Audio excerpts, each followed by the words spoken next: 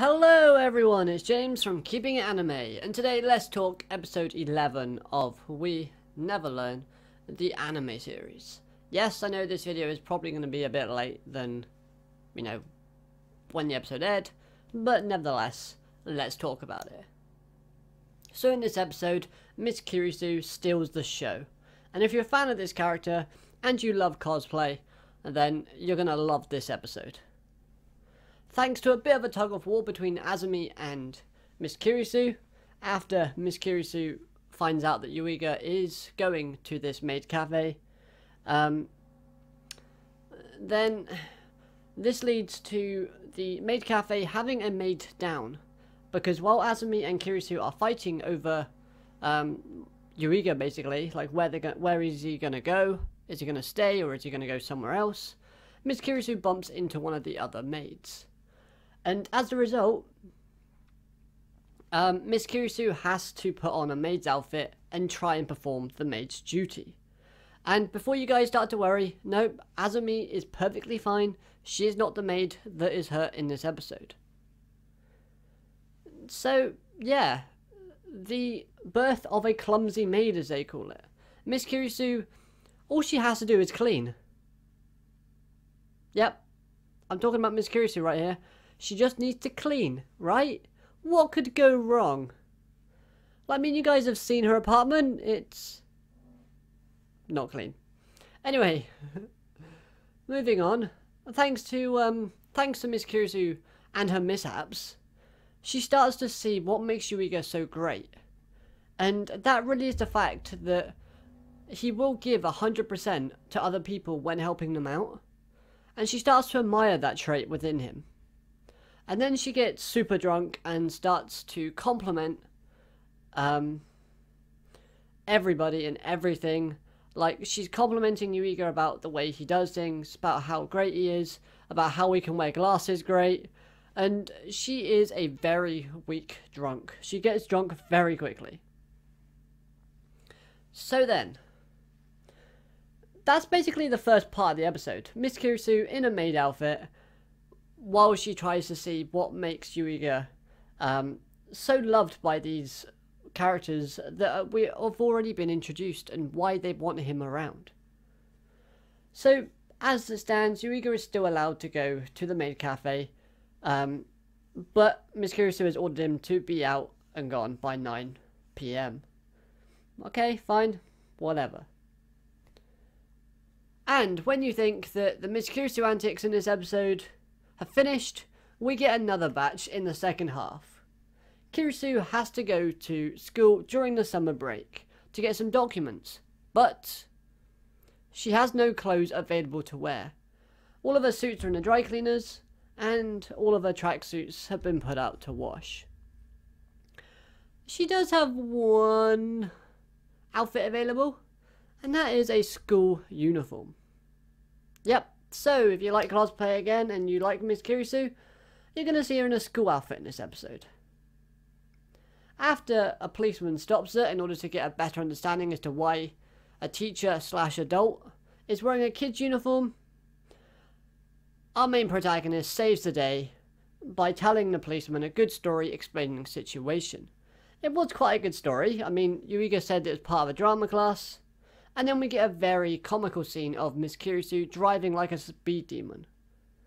So, we get to this scene and we're like, oh, cool. Kirisu can drive. Fair enough. Let's uh, see. She must be a pretty good driver, I can imagine. And then she just floors it. She's going over the speed limit, everything. I'm surprised that policeman didn't come back. After all this, we then get a game of hide and seek, in where if Kirisu and Yuiga are seen, by anybody at the school or outside of school, then the repercussions could be dangerous. Obviously, because she's a teacher in a school uniform with a student, you, you know, that type of thing. But what I loved about this scene even more was how they skillfully avoided Fumino and Rizu. And what came after that. So in order to avoid Furuhashi and Rizu, Yuiga quickly thinks on his feet and makes it look like they're kissing behind where they're sitting, which freaks Furuhashi out and they both start running away. But then the real kicker happens, and I think this comes after the outro. Yeah, it comes after the outro.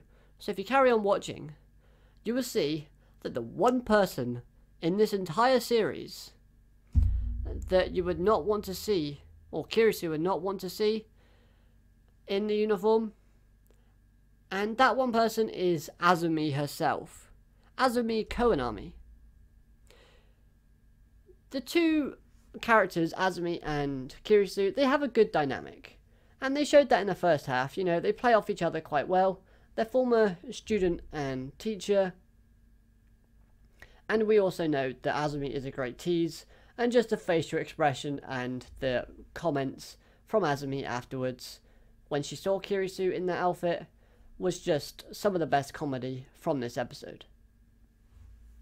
But guys, the second half of this episode wasn't all comedy.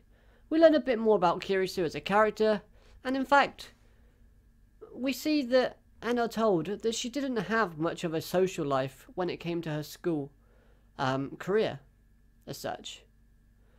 Because the reason for this, her figure skating always took priority which meant she missed out on going out with friends after school, um, you know, going to the arcade or grabbing ice cream or having a romantic time.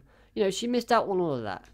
And even in this, Yuiga still wants to help her out because that's why he bought her the ice cream. To kind of give her that slight experience.